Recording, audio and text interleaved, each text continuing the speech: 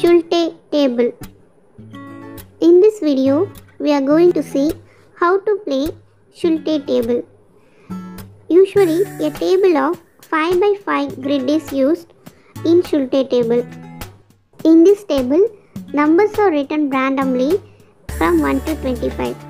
Instead of letters, you can also use alphabets.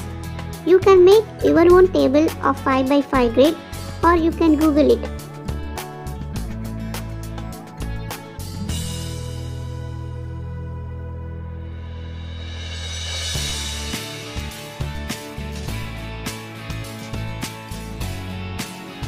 Let's see how to play this game. First, focus on the center.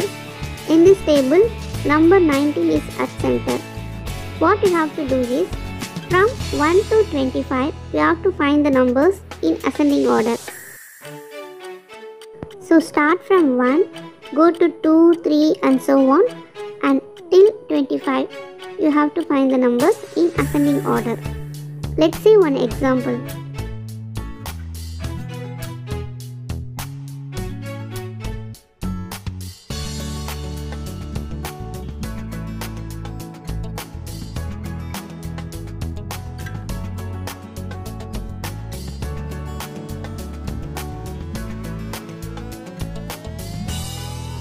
And now your countdown begins. It's your turn. If you practice very well, you can find all the numbers in less than 5 seconds also.